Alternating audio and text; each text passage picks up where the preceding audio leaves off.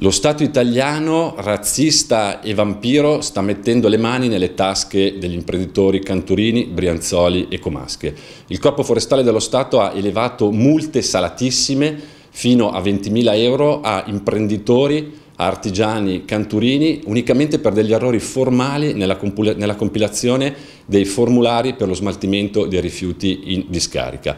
Una vergogna, multe inaudite, multe che rischiano di penalizzare un comparto importante come il comparto del legno arredo canturino. Sanzioni che stanno mettendo in ginocchio in maniera irreversibile le nostre aziende. Questo è inaccettabile.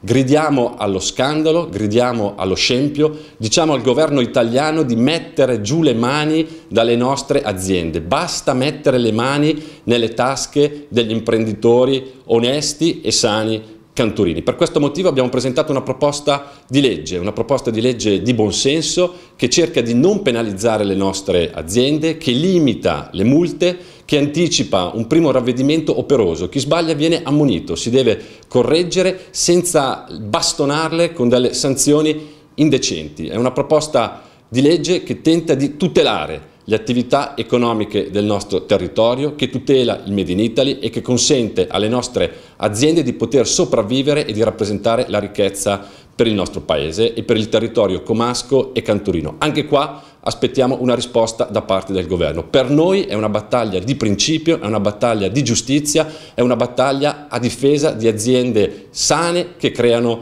ricchezza. Il governo ascolti la voce del territorio, ascolti la voce delle imprese, ascolti la voce di imprenditori per bene. Per noi questa è una battaglia di principio che condurremo fino alla fine.